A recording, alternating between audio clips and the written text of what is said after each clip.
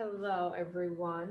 So we are again simplifying trig expressions here. We're going to start in 5.1. In these simplifying trig expressions, basically what we're going to be doing is taking some um, different variations of trig expressions and deciding can we factor them, can we simplify them in any way? If we can, how can we simplify them? And again, going back to using some of your identities. So I don't have a sheet right next to me right now, but I gave it to you last semester. It's also going to be linked in the website and on Google Classroom uh, with a big sheet of all the different trig identities that we talked about, all in um, chapter four from last semester. Okay, so the first example I want to use, oops, I actually don't think that was a, that's a marker. That's not a dry erase marker. Oops. Um, the first one I want to do with you is sine x cosine x squared minus sine x. So sine x cosine squared x minus sine x. So while we will be simplifying this one, I want to show you a little thing off to the side. Let's say I had 5x squared minus 25. And I told you I want you to factor out the greatest common factor. Or in some terms, we call this factoring out a monomial um, or a common monomial. So basically here we have to look at 5x squared and 25 and say what is the greatest common factor between the two of those things. So considering there's only an x in the first term, not an x in the second term, then I have to look at my numbers instead of these constants. So between 5 and 25, the greatest common factor that goes into both of those would be 5. Okay, so I could actually factor out a 5. When we factor something out, it's the same thing as dividing each of the terms by said factor. So dividing 5x squared by 5, we're left with x squared. Dividing negative 25 by 5, we're left with negative 5. Okay, and that would be the, um, in this case, one of my biggest tools to help me factor that um, little expression out. We went, we always like to go straight to factoring out greatest common factor because then with what's left, I can say, all right, now can I factor this any further? If not, you set equal to zero and solve. So while we can do that with actual numbers, we can also do that with trig terms. So when I'm looking at this, um, it strikes me that I want to use greatest common factor because of the fact that I see I have a sine and a sine term. If I could pull out those sine terms, I'm thinking that I'm going to have a lot better chances of being able to simplify this down. So I want to factor out a sine x. When you factor that out again, it's like dividing each term by said factor. Okay, so this is sine x cosine squared x divided by sine x. Sines cancel to leave you with just cosine squared x. Negative sine divided by sine is negative 1. And now some of you might be thinking like, ooh, that looks like a trig identity, right? And, and, and you might not be thinking that, that's okay. But inside here, if I have a cosine squared and a 1, I'm likely headed towards a trig identity. But I want to remind you, the trig identity that we're thinking of is sine squared x plus cosine squared x equals 1. So the one that we're currently kind of thinking about is when cosine and 1 are on the same side of the equal sign, meaning I need to get cosine over to this side.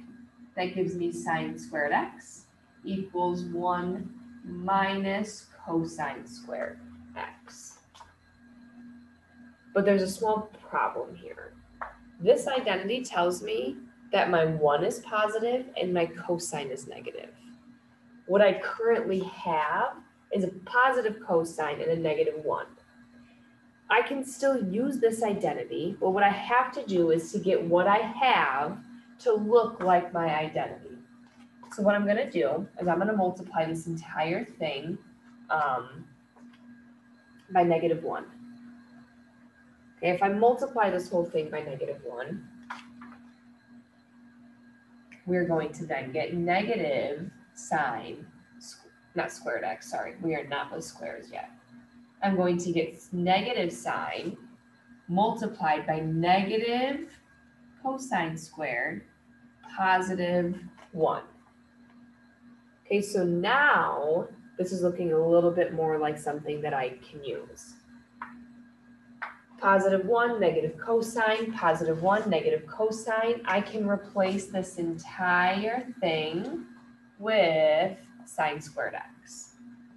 Giving me negative sine times positive sine squared.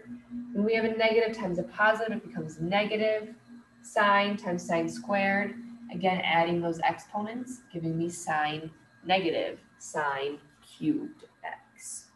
Okay, so the main, the main part, like I'd say the hardest part of this is being able to identify one, that you can factor out a sine, two, then being able to see, well, I can use a Pythagorean identity. I just have to alter this before I can go ahead and use that. All right. Moving on.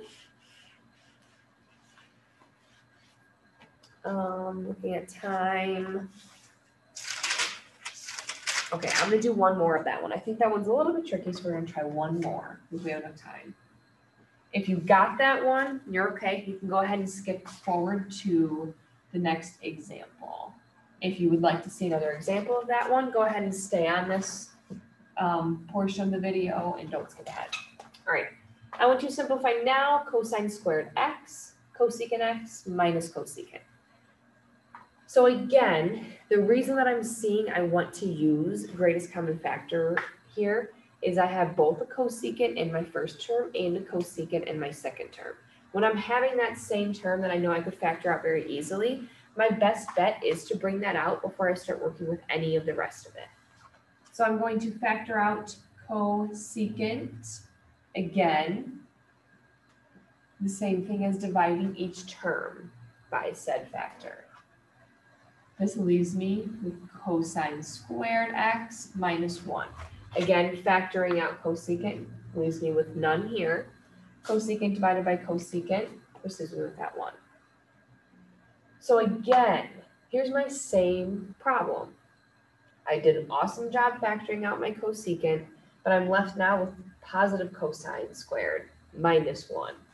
Let's go back to the fact that this was sine squared x equals one minus cosine squared. I have to again go ahead and multiply this by a negative one. Divide by negative one, multiply by one, whatever you want to do. Either way, this leaves you with negative cosecant times negative cosine squared plus one.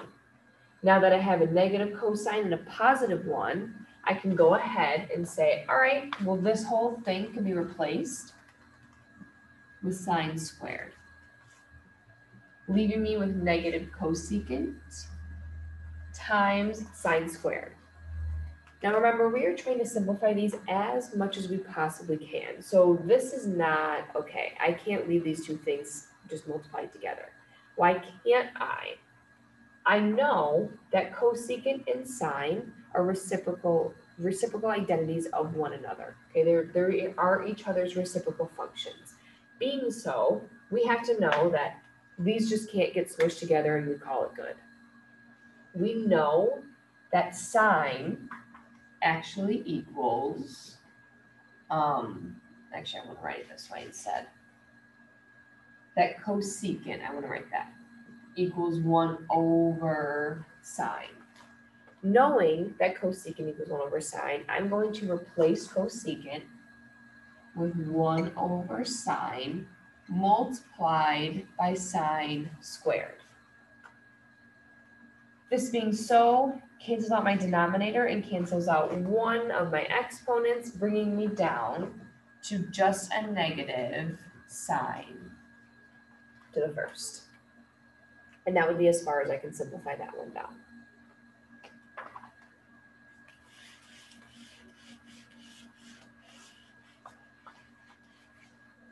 All right, switching gears a tiny bit, I want to show you how you can factor in some other ways. Um, so let me remind you, before we do this example of sine squared minus one. If I had, let's say x squared minus nine. x squared minus nine. So we have a specific formula kind of for factoring these. This is called the difference of squares. So what happens is this is a perfect square and this is a perfect square, okay? X squared is a perfect square. Nine, I could take the square root of nine and I get three. So what happens is we want to be able to have our first term subtracted and added by some, by the square root of our last term. Okay, so you take square root of the first term, subtract and add, square root of your last term. So the square root of nine is three. So the way this would factor out would be x plus three and x minus three. So it's really truthfully, really simple thought right there. So what's any different with this one then? I want to ask you, is sine squared a perfect square? Yes, I could take the square root of that, I would just get sine. Is one a perfect square? Take the square root of one, and you just get one. We're negating the fact that this is a negative, right? Um, our formula here, this, this way of factoring, factors in the fact that this is a negative um, number there. So just like we did with the actual numbers, we are going to take the square root of the first term, which is sine, subtracted and added to the square root of the last term. Square root of the last term is just one. So we get sine x plus one and sine x minus one. Okay, so again, same kind of little easier thought there. Other ways to factor. Um, let's do cosine squared x plus two cosine minus three. All right. So what I want to remind you of is this is like screaming a trinomial that I can factor, okay? Trinomials that you can factor. They're really easy when they have no constant, um, no leading coefficient here. Um, and then I have a squared, my middle term, my last term that has no variable or trig function on it. This is going to be very similar to its, let's write this just identical to, I'm gonna write one that's just the same as this one, but with x's instead of cosines. All right, so when we factor trinomials, the method is we're gonna get two binomials. And because we have an x as our um, variable here, it'll always be an x in the front of those two binomials. The way we get the sign in the last um, term is two numbers that multiply to negative three but add to two. Okay, so we want to think of factors of three are one and three. So out of one and three, which one needs to be negative so that we get a positive two when we add, but a negative three when we multiply? So it's obviously going to have to be a negative one because negative one times three still gives me negative three, but negative one plus three is going to give me that positive two. So we write in either order, um, negative one and a positive three. So what does this look like if we're using trig instead? It literally looks exactly the same. So again, I use a very similar thought process over here.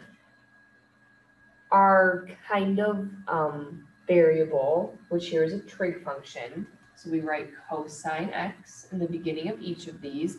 How we again get this last part is by taking numbers that multiply to negative three and add to two. We found out that that was negative one and positive three. So one of the biggest thought processes here is that you can treat trig functions, again, like you treat any other function or expression that you've dealt with in math. While we have these tools to be able to make substitutions and different ways that we can simplify with trig functions, using those identities, the whole process of being able to factor them um, and bring out a, their common term or maybe be able to add them together. is just the same as when we just have variables within them. Um, one last example that adds in, it's still factoring, but adds in a little bit of a twist. Okay, so with this one, we are going to do cosecant squared minus cotangent minus three. All right, so I told you I wanted you to factor with this one. And again, it's blaringly obvious that I want to factor this because of the fact that I have a squared, a no, a non-squared just to a first power term, and then just a constant term. Um, but the issue here is, is you have to have this term the same as this one, and I currently have a cosecant and a cotangent. But luckily, I remember that when I have squared functions, I could use Pythagorean identities. One awesome Pythagorean identity that will be the biggest help to us is knowing that cosecant squared equals one plus cotangent squared. Okay, this is a Pythagorean identity. Knowing this, I can replace my cosecant squared with one plus cotangent squared. Follow that up with my minus cotangent minus three. Again, just like any other function, I can add like terms. Um, so my like terms here are one and negative three, leaving me with cotangent squared minus cotangent minus two, because one plus negative three is just negative two. And again, I cannot add cotangent squared and negative cotangent together yet, or at all, ever, because one is a squared and one is not, so they are not like terms. Now, at this point, I want to be able to factor. So just like I did before, cotangent is my function, so I have cotangent out in front. My last two terms here are going to come from two numbers that multiply to negative two, add to negative one. Obviously, factors of two are one and two. So out of those, which one needs to be negative to add to negative one? If I have one plus negative two, I get negative one. One times negative two, I get negative two. So it's a plus one and a minus two. All right, that is good for five point one. There's gonna be an honors um portion of this coming. So not all of five point one is all regular. There is an honors portion going to come from this.